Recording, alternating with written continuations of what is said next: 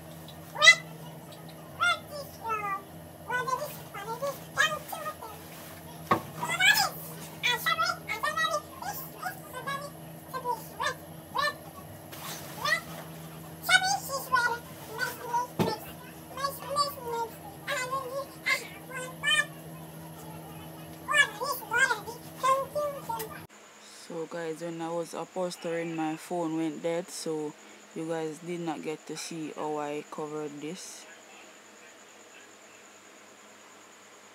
But thanks for watching